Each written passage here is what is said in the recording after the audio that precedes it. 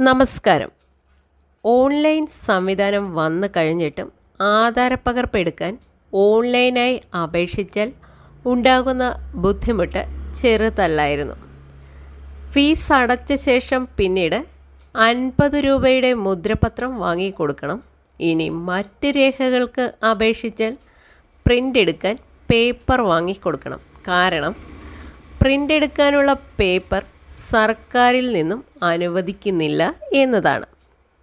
ഏറ്റവും ബുദ്ധിമുട്ട് വരുന്നത് അൻപത് രൂപയുടെ മുദ്രപത്രം മിക്കവാറും ലഭ്യമല്ല എന്നുള്ളതാണ്.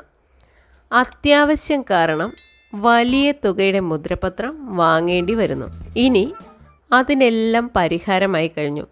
വിവിധ തരത്തിലുള്ള ആധാരങ്ങൾ ഗഹാൻ എന്നിവയുടെ പകർപ്പിനായി ഓൺലൈനായി രജിസ്ട്രേഷൻ വകുപ്പിന്റെ സൈറ്റിലൂടെ അപേക്ഷിക്കുമ്പോൾ അടുത്ത ദിവസം തന്നെ അൻപത് രൂപയുടെ മുദ്രപത്രത്തിലാണ് സർട്ടിഫിക്കറ്റ് ലഭിക്കുന്നത്. അത് ഏതെങ്കിലും അക്ഷയയിലോ അല്ലെങ്കിൽ കളർ പ്രിന്റ് ലഭിക്കുന്ന ഇന്റർനെറ്റ് കഫേയിലോ പോയാൽ കളർ പ്രിന്റ് ലഭിക്കും. ആയിരത്തി തൊള്ളായിരത്തി എൺപത്തി എട്ട് മുതലുള്ള രേഖകളാണ് ഇങ്ങനെ ലഭിക്കുന്നത്. എന്നാൽ വിൽപത്രത്തിന്റെ പകർപ്പ് മാത്രം ഇപ്രകാരം ലഭിക്കില്ല. മുദ്രപത്രത്തിൽ ലഭിക്കേണ്ട എല്ലാ രേഖകളും ഇപ്രകാരം ലഭിക്കുന്ന രീതിയിലാണ് പുതിയ പരിഷ്കാരം നടപ്പിലാക്കുന്നത്. വീഡിയോ ഇഷ്ടപ്പെട്ടാൽ ഒരു ലൈക്ക് തരണേ. വീണ്ടും കാണുന്നതുവരേക്കും ബായ്